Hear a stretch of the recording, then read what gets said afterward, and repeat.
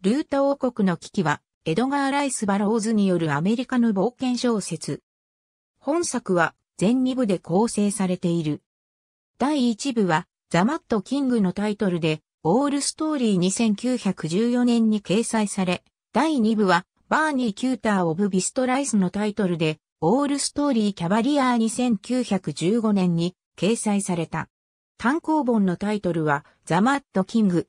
日本語訳は、ルータ王国の危機のタイトルで、厚木厚役、東京草原社、草原推理文庫、1981年7月24日。挿絵、カバーイラスト、口絵は、加藤直之。ヨーロッパにあるゲルマン系の小国ルータを舞台にした冒険小説でアンソニー・ホープのゼンダ城の虜を参考に執筆されている。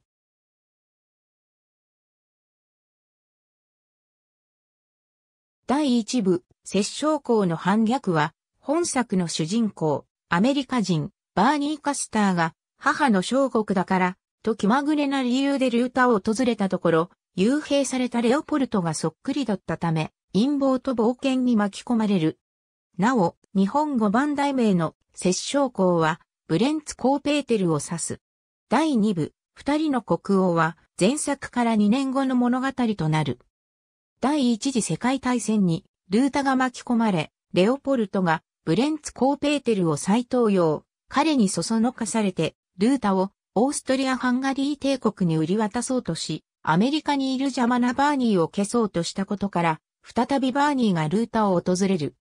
第一部と第二部の間に、石器時代から来た男の第一部が書かれており、バーニーの妹ビクトリアがヒロイン役となっている。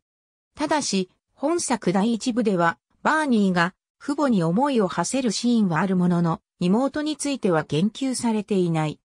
本作第二部では、冒頭で、わずかながらビクトリアが登場している。